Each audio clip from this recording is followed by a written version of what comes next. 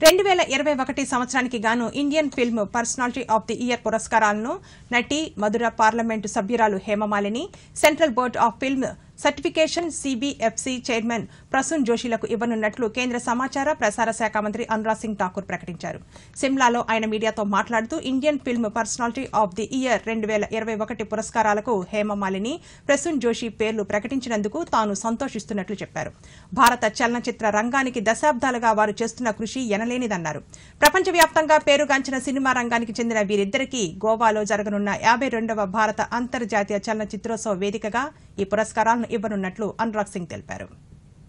अपने अवार्ड्स को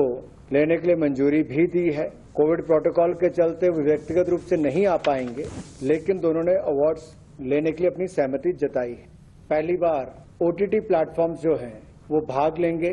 उनकी जो पॉपुलर सीरीज है उनमें के भी कुछ अंश वहां पर दिखाए जाएंगे क्योंकि जिस तरह से पिछले